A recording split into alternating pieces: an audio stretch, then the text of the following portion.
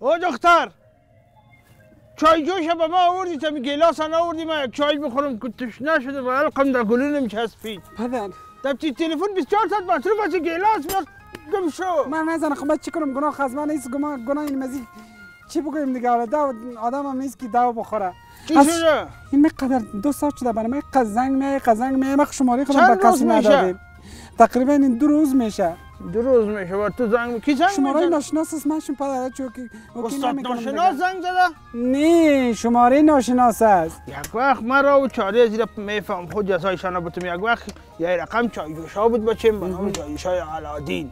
این حال ما این میرم تو چی می‌کنیم؟ اگر از این برآمد خب خوب میشه مشکل حل کنه. علادین برای؟ علادین از داخل زمین چای جوش رقم خود علادین ولی سفید خو است.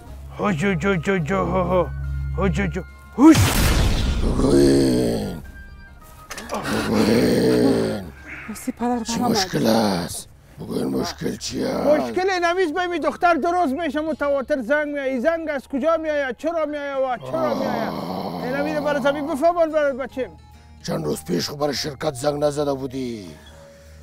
پدر جان راست میگه اگر بر شرکت زنگ زده باشی. چرا زنگ زدی؟ کار نمی‌داد صحیح آنتن نمی‌داد خب، اینترنتش خب، برای هر شرکت که زنگ زده بودی کارمنده از او شرکت فهمیده که دختر است آوازت بسیار نازک بود دلنشین بود قشنگ بود شماره تا قید کده برای شوانه و روزانه زنگ می‌زنه یا واو واو اوه اوه پدر یکم از. تلفن بعد ما آمدگی هیچ سیم کارت نمی‌خرم هر سیم کارت رفت در بخرید داخل زحمت رفت زیاد باش شد. کجا رفته اوه شد؟